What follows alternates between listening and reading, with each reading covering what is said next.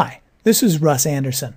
Today I'd like to talk a little about what happens setting up a coordinate system for an object type track. Now I've already done the tracking on this scene. You'll see that we have both a moving camera and a moving object, which is that truck. So I've completed the track for both of these. And you can see there are a large number of trackers here on the uh, the bank of the hill and down at the bottom of the road. And these ones down at the road I used for setting up the coordinate system at a uh, road level using the autoplace mode. And the only problem comes when you go and you look at where's my, my truck. Right now the truck is sitting way down here, well down below the road level. So just what's going on here.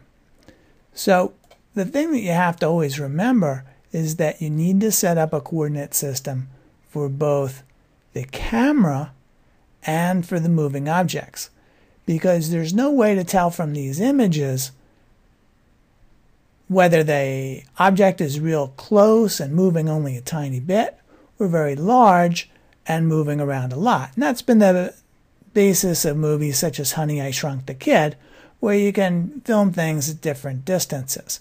And that optical illusion, you know, works whether you're a person or a machine. So we need to take some additional information, you know, what we know as an artist, to get the right thing to happen here. So the first thing that we're going to do is set up a coordinate system for the truck. And we'll just pick out a couple of points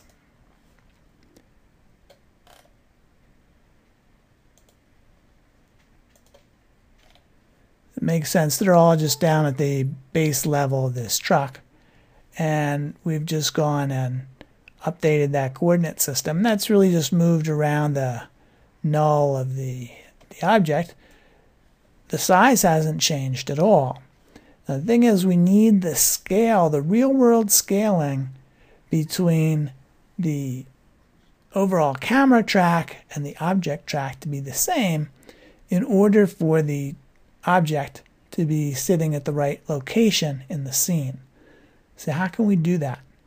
What we'll do is go over to the 3D panel and we're going to set up a whole operation. So we're going to be operating on this object mode, you know, the track of the object as a unit. And that includes both its trackers and its path.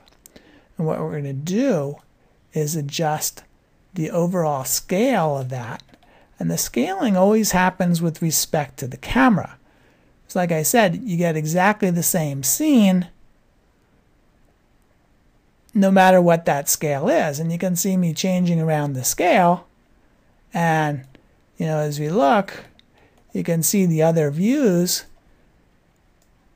Everything's changing around.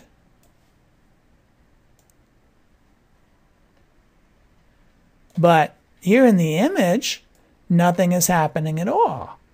And that's that's the basis of the problem and the basis of the illusion, the basis of the effect sometimes for shooting real movies. So what do we want to do?